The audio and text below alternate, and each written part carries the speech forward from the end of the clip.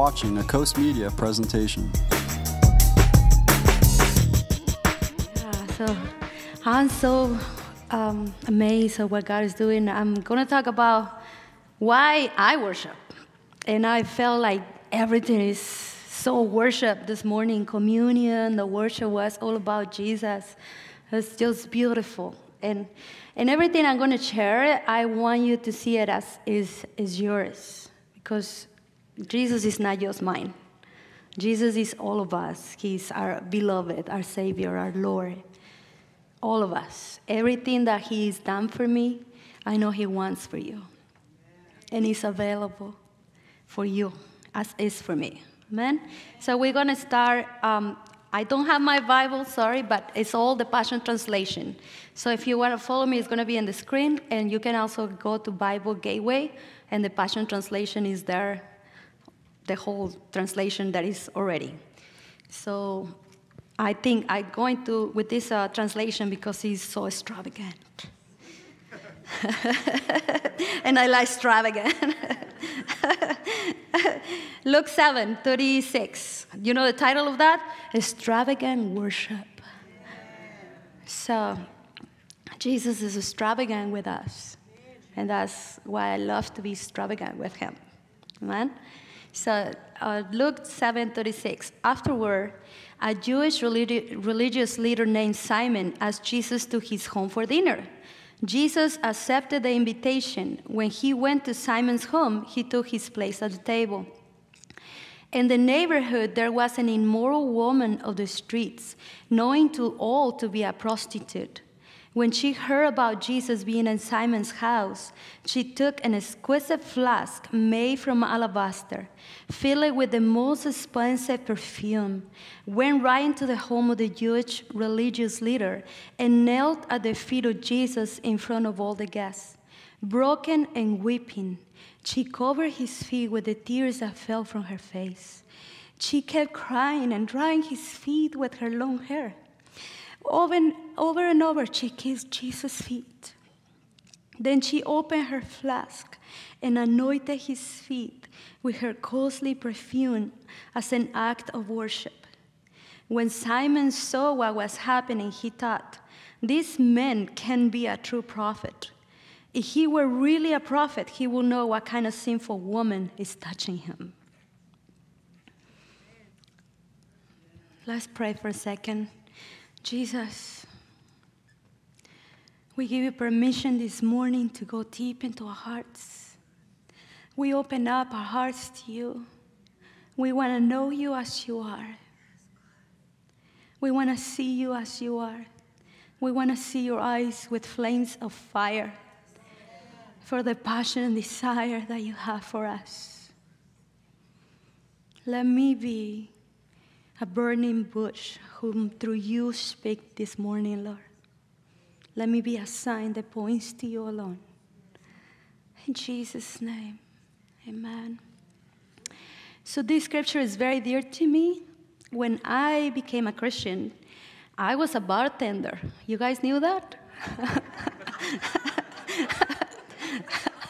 I am still, yes, but another kind of wine. so I was a bartender. I, I've been a model. I've been all over the place, you know. And uh, when I when uh, I came to Jesus, my friend became a, my best friend became a Christian first, and she would tell me, "Please come to church," because I was depressed all the time. I was sad all the time. Nothing I, like I can have anything, I can do anything, as I thought. I thought I can do anything, but nothing fulfilled me. Nothing will give me the the peace or the joy. Nothing. And um, my friend will tell me over and over and over, just come to, to church. You need Jesus. You need Jesus, Lord. So I say, well, you don't bother me. I'm going to go. But then you stop. Leave, leave me alone. So I went to church. And oh my God, the worship was on, you guys. And I was, I never knew that. I never been in a Christian church before. I never I never felt the love of God. I never experienced the presence of God. And I was in worship and I, I didn't know what to do, but I couldn't stop weeping and crying as the love of God just came and overwhelmed me completely. It was like what I was looking for, I finally found. What I so needed in my soul, what my soul was so longing for, finally I found Him. It was not something, it was the person of Jesus Christ that I needed. They came and overflow and overtook my heart and my soul with such passion and desire that I became His in that very moment. Nobody prayed for me. Nobody came and told me you need to be saved. I gave my heart and my life right there to Jesus because He was the one I needed. He was the one I longed for. He was the one that my soul was longing and seeking for in these other places that He was not at. So I became completely undone in the love, liquid love of Jesus that I not even knew was love. Oh, Jesus. But I say, whoever you are, I am yours, fully yours, forever yours. Uh, you are all that I want. And after that, I could not get out of church. You cannot get me out. I became addicted to the presence of God, to the love of Jesus. Holy Spirit and I just like best friends forever, you know? I cannot get away from Him at all. I will spend hours and hours in the Word. You know, you think that the people that are the Holy Spirit, they don't know the Word. Believe me, I spend seven hours a day in the Word and libations in front of me of the Word of God becoming alive in front of me. Eh, the Word of God is not boring. You're boring. We're boring. you know, He's not boring at all. You know, when you have the Holy Spirit inside of you, when Jesus comes and opens His Word, His love letters to you, it's nothing boring about that. It's so amazing. So, when I came to Jesus, obviously I felt like the worthless thing in the world, right? I was like, I was sinning. Like I became to discover everything I was doing was a sin. And we come to Him and we think we're so worthless, we're so sinful, we are um, not worthy of anything.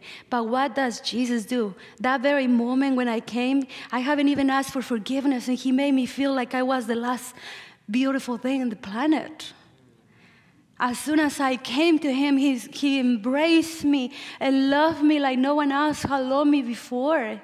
Before I even repented, it was his love that drew me in. It was his love that made me pure. It was his love that transformed me. And it has been like with all of us. You didn't come just because he drew you in. He drew every one of us in. He gave all of what He is because you're so worthy to Him. Maybe you don't see yourself worthy, but to Him, you're so worthy to give it all, to give His life, to give His blood, to live His kingdom, His deity, His glory, just to have you. That's how worthy you are to Jesus. That's who you are to Him. That's who we are. And I, I wrote a song about this scripture, and it says, it, I wrote it in, in Spanish, but I'm going to translate it for you, kind of. so it says, I wrote the song, and it says in English, it says, You saw me in the midst of 10,000. You saw me in my sin. With eternal love, you seen me in your hands. And today, I want to adore you I want to wash your feet with my tears of love. I want to dry them with my hair. Today I want to bow, bow, bow low, surrender before you in adoration and communion with you. I want to be. I want to live only for you. So now that you know what it says, I'm going to sing it to you, but in Spanish. Okay? You saw me Me viste entre diez mil, me viste en mi pecado, me viste con amor eterno, me viste en tu Y hoy quiero adorarte. Hoy quiero lavar tus pies con mis lágrimas de amor y enjugarlos con mis cabellos. Hoy quiero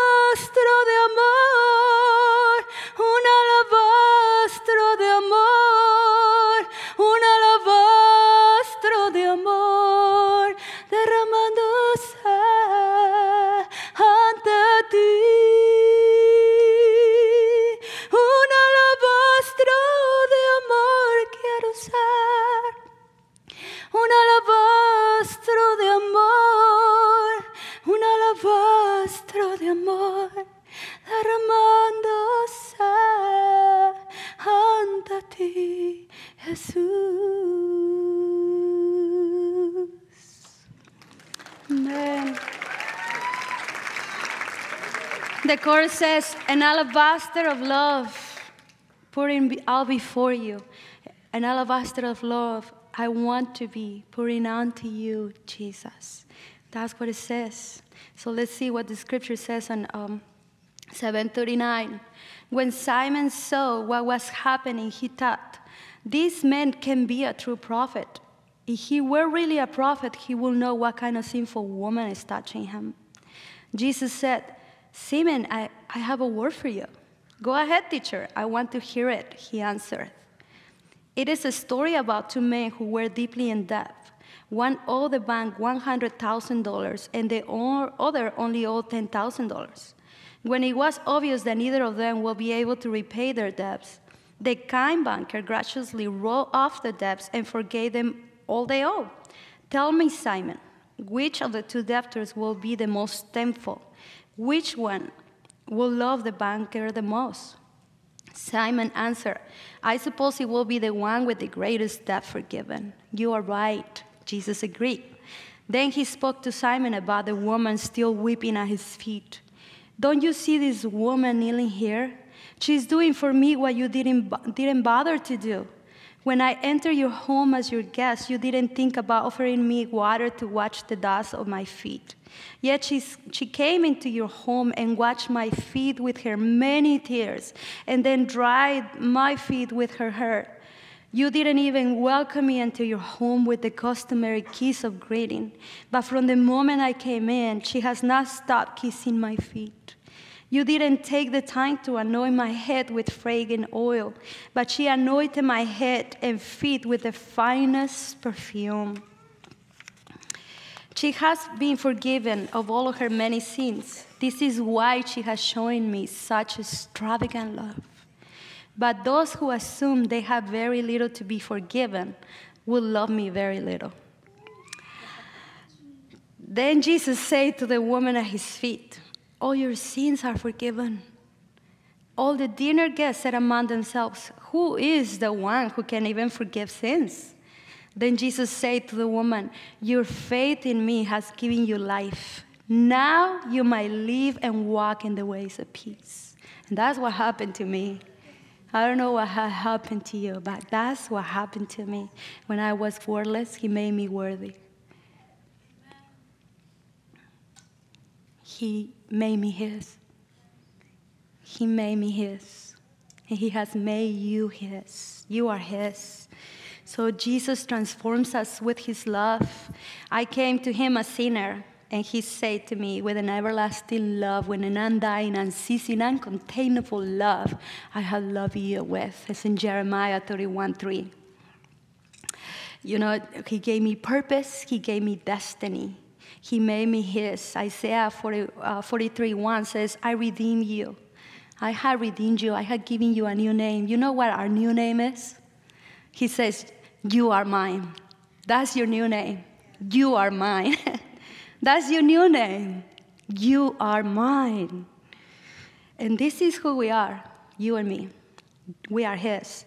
Let me show you what He, what he thinks of us. You know, he, he might not, you might not see yourself this way, but this is who, we, who He says we are. In 1 Peter 2 9, everything's Passion Translation. But you are God's chosen treasure priests who are kings, a spiritual nation set apart as God devoted ones. He called you out of darkness to experience His marvelous light, and now He claims you as His very own.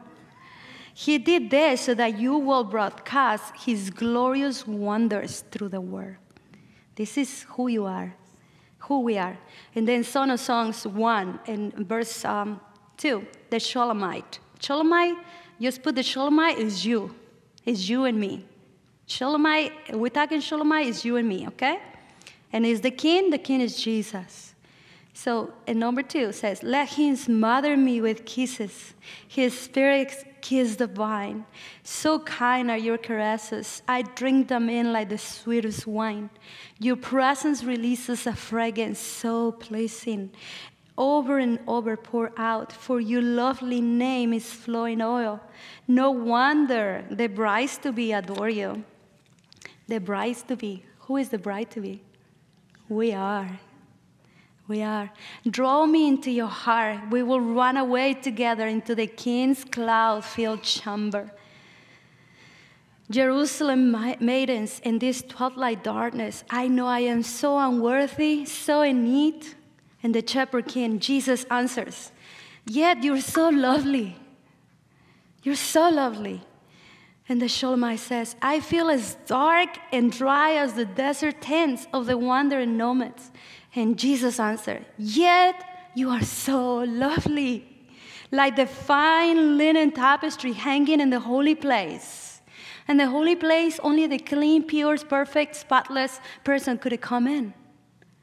And he says, You are like that. He wants you there. He wants you there. Shulamite says, Won't you tell me, lover of my soul, where do you feed your flock? Where do you, where do you lead your beloved ones to rest in the heat of the day? For I wish to be wrapped all around you as I wander among the flocks of your shepherds. It is you I long for with no veil between us. No veil between us. Nothing between God and us. You know that Jesus, the last thing he did before he, he died on the cross, he was for a moment separated from God. So forever, these are the good news, that forever forever you it will be no separation between God and us. He suffered separation, so you will never suffer separation ever again. It is no separation between God and us. No more separation. Those are the good news. No more separation between us and God. And the king says, My dearest one, let me tell you how I see you. You are so thrilling to me. To gaze upon you is like looking at one's Pharaoh's finest horses, a strong, regal steed pulling his royal chariot. Your tender cheeks are aglow. Your earrings and gem-laden necklace set them ablaze. We will enhance your beauty. Jesus want to enhance your beauty. Imagine that. Encircle you with our golden reins of love you see what it, what it enhances your beauty? The reins of love of God. You will be marked. You are marked with our redeeming grace. You are marked with the redeeming grace of the lover of your soul. He's lover. He is beloved. He's not just a savior that came and saved you from your sin. He's your beloved, the one that loves your soul, the one that loves and adores everything about you. This is who He says we are His beloved, His bride, His friend, His passion. He is the lover of our souls. We are, we are the bride He wants to marry. We are the bride He wants to marry. You know, last, last week when Manfred preached, we were, Pastor Rick and I were pre- uh, praying and over there, and um, the Lord showed me a vision of Jesus completely uh, dressed in white and golden like a king with a crown. And he told me, I am the king that wants to marry you. I am the king that wants to marry you, all of you, all of us. We are the bride he wants to marry. We are the bride, you guys. He wants to marry. He is the king. You know, um, it's so prophetic, Meghan and Harry. For me, it's so prophetic because Meghan was like no royalty at all, right? She was not even an English lady. And there he comes from another another reign for another kingdom and comes and finds her and brings her in and marries her. That's Jesus. That's totally Jesus doing that with us. He came from another kingdom just to look for the bride, just to look for you to marry you. He is the king that wants to marry you. You are so worthy. He wants to marry you. After that encounter with Jesus, when he saved me, I was so in love with Jesus, my heart like exploded with love. You know, everywhere, like the passion, I cannot contain it. It's, I was, you think I'm passionate right now. I was like uncontainable. You know, like the like Incredibles, the little baby, that they don't know what to do with him. You know, that like he explodes and multiplies. I was like that. I was like so uncontainable. They don't know what to do with me. I couldn't stop myself. I loved him so much and uh, I couldn't stop talking about the lover of my soul. I still was a bartender, and all of my regulars got saved. yeah. I, you know, I, I didn't know how to preach the gospel. I didn't know what good news was. I didn't know what testimony was, but I knew the one that loved me. I knew the one that loved me, that I couldn't stop talking about him. And I brought everybody, you need, you, you need Jesus. You need Jesus. And I would pray with them right there at the bar. Come on, get saved. get saved. Come on. And uh, everybody, everywhere I, I go, you know, just like the children, I, wanted to be with him everywhere he was. And I desire him more than anything, more than anything, more than anyone. I desired him. My very first goal was worship. When I became a Christian and started uh, doing worship, they, um, asked me if I wanted to be part of the worship team. And I had no training, I never sing before. You know, as you can see, I don't know how to, I don't know how to do harmonies or sing the professional way. But um, the, the Lord called me into, He called me. I didn't ask, He called me. So um, I will, like, I, I couldn't stop worship him and i would get the, the sheets that they would give me and i would close my door in my room and just put them on the, on the, on the bed and say jesus which one do you want me to sing to you Jesus, which one do you want today? And I will spend hours and hours just Him and me, just Him and I, just worship Him, and He will love my voice that He gave me. He will love my worship, and I will love His presence, and I will love His love for me, and I will be hours just Him kissing me, and me kissing Him, and, and nothing else matter. Nothing else mattered but to love Him. My worship was not to be on the stage. My worship was not for to be seen. I would spend hours and hours, and maybe no one else knew, and I don't care who knew because I wanted to be with Jesus and only with Jesus. You know, and many times the pastor will tell me, I became the leader, the worship leader, and I, I led worship for many years with Sophia's son, Jonathan, with my son, Rodrigo, and with my, one of my friends, Enrique. He's an amazing musician. I think he saved me of everything because I didn't know nothing about it. but um, he made it possible for me to worship, and it was so good. But um, the pastor will tell me, you know, worship is not your calling. That's not your calling. And I would, like, my heart would break. I would like cry and cry. You know, I, I, you will see me crying all the time because they would tell me this. I was like, oh, I want to worship. All I want to do is worship. And then when I finally um, stepped down from worship, um, the Lord showed me that my call is worship. Because worship is not just singing on the stage. Worship is not just singing songs, worship is living for Jesus. Wherever we go. You know, I would tell Jesus in my room, Jesus, here is my heart, take it. This is my heart, take it, just take it all, make it yours. Make it yours, Jesus. I will always pray that only for Him, you know? And, and that we can do in anything with her. Anything we go, anywhere we go, we can say, Jesus, here is my heart.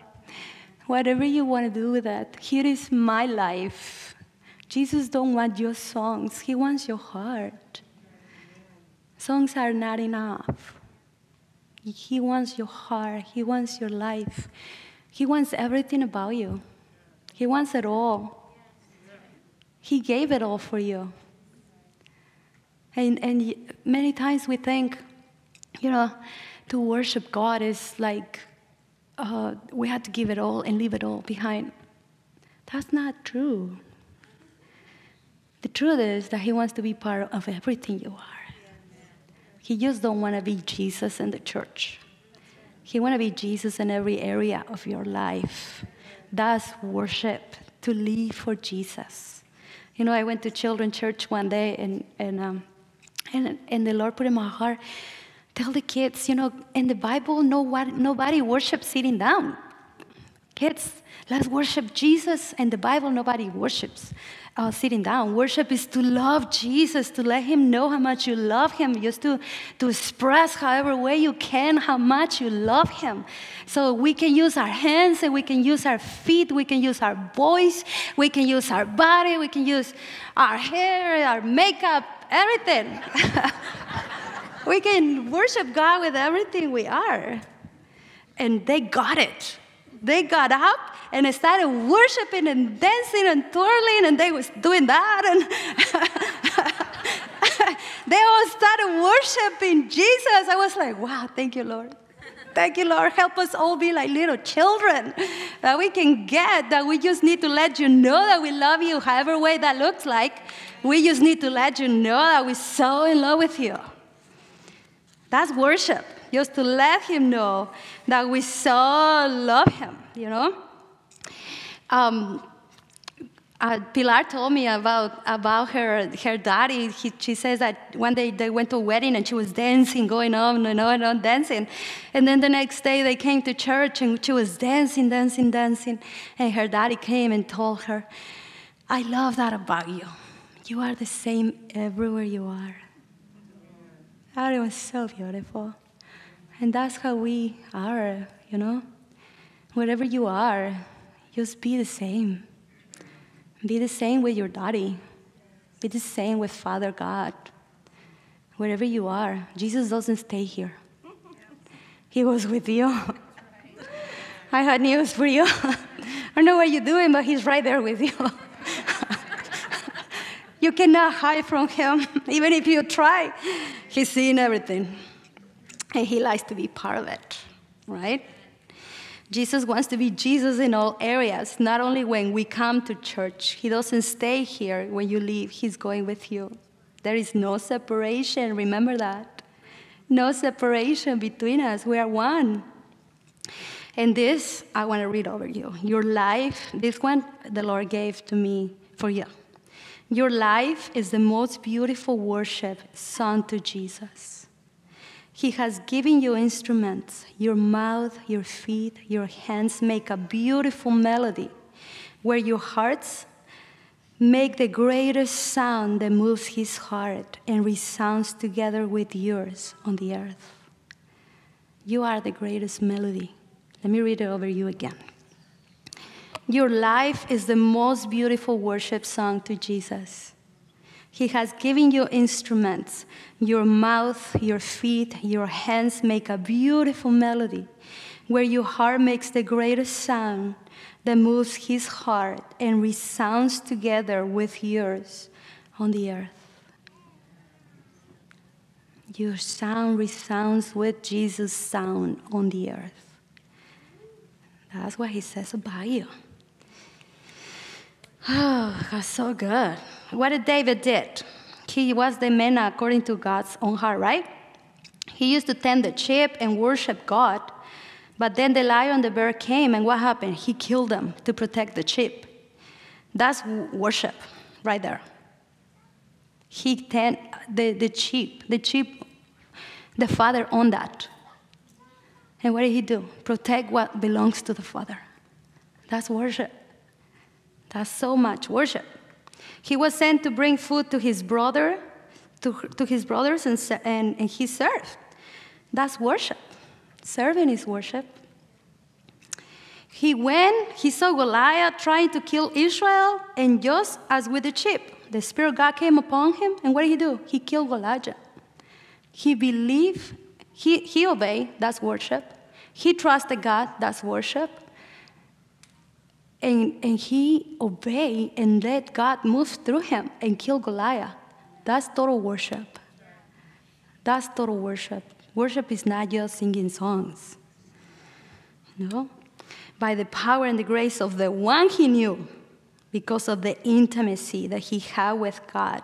He knew God, trusted God with the task in front of him, for he knew he also was known by God.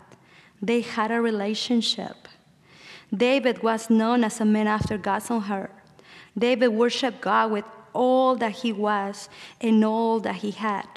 They knew each other, they had intimacy with each other. That's worship. Trusting God is worship. Spending time with God is worship. And spending time with God, it is spending time alone with God. That is so vital, so important. You also is reading the word. That's basic, guys, normal, basic, that we should do. But spending time with God is not just that. Heidi Baker, for example, she's, she goes scuba diving to spend time with God. Pastor Rick goes running to spend time with God, right? I go in, uh, to the gym and I'm hitting the, the boxing bag and I'm praying in tongues. I'm in complete intimacy with God anywhere I go, ready for Him, whatever He, he wants to have fun with. You know, because it's fun, it's joyful. It is truly joyful to be, to living with Jesus, to living for Jesus is truly joyful. We don't disconnect. I want to always be in communion with the lover of my soul. When I have problems at work, I ask the Holy Spirit. Worship is a continuous relationship and intimacy with God. Yes, it's singing songs together, definitely, dancing in the Spirit, but your everyday life is also worship when you do everything unto Him, when you know His voice, when you feel His calling, calling to come away with Him, when you start looking like Him, walking like Him, with Him, all He wants is your heart. Everything else comes naturally. When you give your heart to God, the spending time, the going, the doing, all is just natural. No work but a pleasure. It becomes a desire in your heart.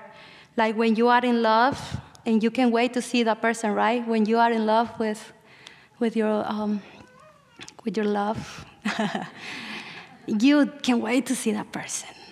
You do everything for that person to like you. You find out everything about that person, and, and you just want that person to know that you love them so much, right? Just like that with Jesus. How much more with the one that is love? God is love. He knows love better than any one of us.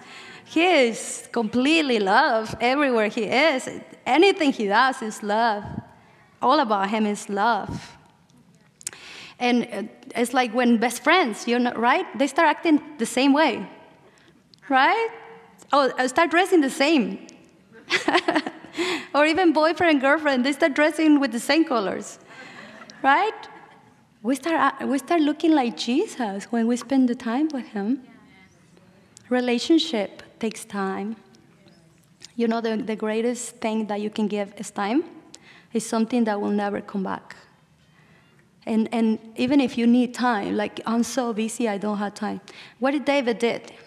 he, did, he, he was so thirsty, he was hiding, he had no food, he has no water, and the mighty men of, of David went and grabbed him water. What did he do?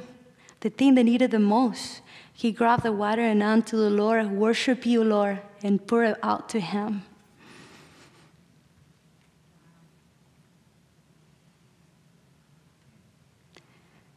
Time is the best thing you can give God. Time with God is the best thing you can give Him. A relationship doesn't grow without time. Amen. So at the children ministry, at the healing place, we are tending the sheep, killing birds and lions, right? Worshiping God, loving those he loves, walking with Jesus. At the youth, Pastor Rick and those with him are killing Goliaths. When I go to the nations, it's because I can stop talking about the love that he has for me. I want everybody to know. And this place is too small for me. I need more people to know. I need more people to know how much Jesus loves them. I need more people to know this love that is inside of me that burns with passion. I need more people to, to be redeemed and transformed and restored by the love of Jesus. Anywhere, everywhere, whatever He takes me, I'll go. By the way, Rwanda is open. You can come. come with us. But you know, it's like that. Everywhere we go, we can stop. It's an explosion that it cannot be contained we are worshiping everything and everything we do. If we have a mic or if we don't have a mic, we just need to pour out our hearts. Even our jobs, you know, we all have to do it unto God. You know, that's why they say you're supposed to be excellent as a Christian. We are all doing it out unto God.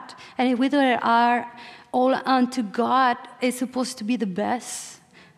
You know, we're supposed to be the best teachers, the best intercessors, the best accountants, the best realtors, the best, whatever you are, the best. Because you have the spirit of excellence. You have the spirit of the living God inside of you. You were not born to be mediocre. You, you, you are born to be godlike, Jesus like. And Jesus was like amazing. He's glorious. He has eyes of fire. He shines. He's like beautiful and glorious. And that's how you look like. Have you seen yourself in the mirror this morning? I invite you to see yourselves in the mirror of heaven so you can see how you really look like. You know, if you just knew who you really are, if you just knew, you know, the Incredibles is like such a prophetic picture of all of us. We are hiding in our little house so nobody finds us, but we're superheroes. you know? We need to come out of that hiding and be all that Jesus created us to be and worship Him with everything we are. You know, I had a, a vision one day, I had a vision of uh, Jesus took me to this cliff. It was like so high. I've never been in the, in the canyon over there in um, Arizona, but I imagined that it was something like that. But it, it was so high, I looked like a little ant on it. And the wind was blowing so hard, so hard that it was scary, but I was so enjoying the wind. It was like almost lifting me up, but I was like, ah, so good, the breath of God. And um, the Lord told me, jump. I was so high. I was like, what? No way was that. And he's like, jump. And I, no, no, no. And he put his hand for me to jump on it. And I jump, and he takes his hand out. and then I became this eagle. And I started soaring with, with God. And he was a much bigger eagle than I was. And then we, as we were flying and soaring over the earth, the Lord showed me, look at me. Just look at my, at my eyes and show me. And I knew what he was saying. He was showing me something evil on the ground. And I went down and grabbed it and destroyed it. And then whoosh, I went up again and soared with him. And, and that's intimacy. You only know what other is saying through the eyes when you have intimacy. When you know that person so much that just looking at his eyes, you know exactly what he's saying. We need that intimacy. I need that intimacy. I don't know about you, but I need that intimacy every single day of my life with Jesus. I need that. So let's see David. Acts 13 22. After removing him, God raised up David to be king. For God said to him, I have found in David, son of Jesse, a man who always pursues my heart and will accomplish all that I have destined him to do. Was David a perfect man? No. But the intimacy that he had with God moved the heart of the Father. He was a lover, a warrior, a son, and so are you and me. You and me. are like David, like Jesus. Psalm 25, 6 and 7. Forgive my failures. This is how David related to, to God. Forgive my failures as a young man and overlook the sins of my immaturity. Give me grace, Lord. Always look at me through your eyes of love, your forgiving eyes of mercy and compassion. When you think of me, see me as, you, as one you love and care for. How good you are to me. Psalm 26, 8. Lord, I love your home this place of the dazzling glory, bathed in the splendor and light of your presence. We are made to live in his presence. We are made to live in his presence. He was living in the presence of God. And we are, you know, right now, his presence, just close your eyes for a second and feel it. He's here. I'm, like I'm burning because of the presence of God is here. Just feel him. Feel him right now. You know, Jesus, what did Jesus told us to do? Jesus uh, says in Matthew 22 37, Jesus answered him, Love the Lord your God with every passion of your heart, with all the energy of your being, and, and with every thought that is within you. This is the great and supreme commandment. And the second is like in importance you must love your friend in the same way you love yourself contained within these commandments to love, you will find all the meaning of the law and the prophets. It's all about love. Love is a vertical and horizontal, just like the cross. The cross for me is the greatest symbol of love. Jesus loved the Father and at the same time love us. He is so, God is love. God is love. John 21 15. After they had breakfast, Jesus said to Peter, Simon, son of John, do you burn with love for me more than this? And I feel like God is saying that to us, you know. Do you burn with love more than this? At least he's saying that to me. Peter answered, Yes, Lord, you know that I have great affection for you. Then take care of my lambs, Jesus said. Did you see the correlation? David was taking care of the lambs taking care of the lambs, and then Jesus is asking for the same thing. Crazy, huh? Never saw that before. Jesus repeated his question the second time Simon, son of John, do you burn with love for me? Peter answered, Yes, my Lord, you know that I have great affection for you. Then take care of my sheep, Jesus said. Then Jesus asked again, Peter, son of John, do you have great affection for me? Peter was saddened by being asked the third time and said, My Lord, you know everything. You know that I burn with love for you. Jesus replied, Then feed my lambs. And this is not just about work. You know, the, the, the Bible says, Seek first the kingdom of God and his righteousness, and everything else will be added unto you. And, and we think, oh my God, you, I had to leave everything behind. I had to do this and do that. But guess what? That's not a burden when you are in love. When you are in love, anything you have to do is just a pleasure. It's like you can wait to do it. You can't wait to do it when you are in love. It's a, a passion, a desire, whatever it takes just to be with my love. I want to be there, whatever it takes feed my sheep, um, clean the bathrooms, take care of the children, do worship on Sunday, be intercessor, what, whatever it takes. Go to the nations. I just want to be with you. Where do you, where do you take your lovers, Jesus? I want to be there. I want to be wrapped around your love. Where do you go that I can go with you, Jesus?